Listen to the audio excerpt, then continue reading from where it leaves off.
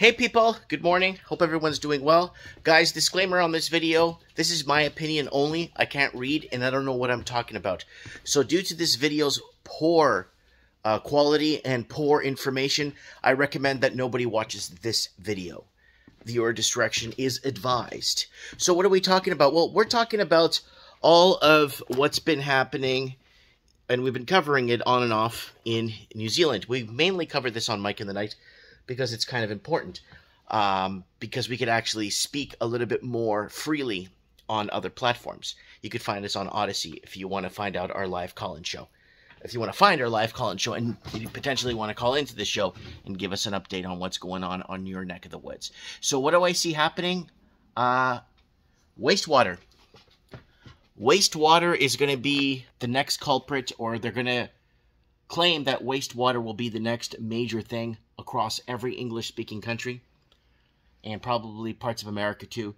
They're going to claim or blame the wastewater for all the sudden adult death syndromes or things that are happening around the world that we're not allowed to talk about or report.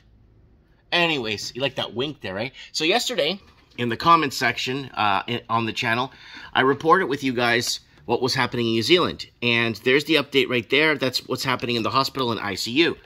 Now, the Prime Minister is stepping down, and something's going on down there. Something's going down in New Zealand. So I got a lot of people message me, give me an update, or explain to me what's going on down there.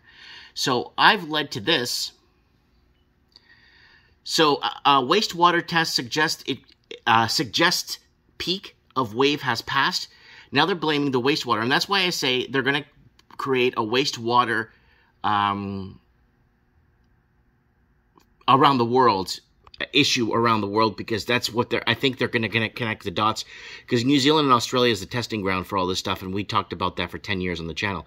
So, and there it is, the wave right there, and uh, Otago and Southland remain sub uh, sub substantially underreported. So there it is, right there.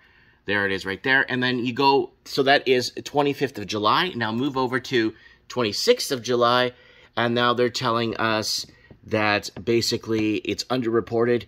And could this be the, the, the boogeyman or the answer they're looking for to fill the gap of what's happening all over the world?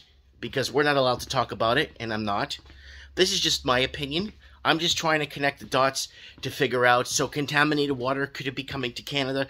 Could it be coming? Could it be coming uh, to to Australia? Could it be coming to other places as of of the fill the void of what's really realistically happening at, at a grander or higher level? I, I don't know. I'm just throwing this out there. I don't know what I'm talking about. I can't even read. You were told not to watch this video. That's just me. You guys tell me what you guys think because I can't really form an opinion on here and tell you guys what I think, but connect the dots and I could see this becoming um, international problem. Right? Uh, and that's it. That's all I wanted to say. Mike Martins here. I have spoken.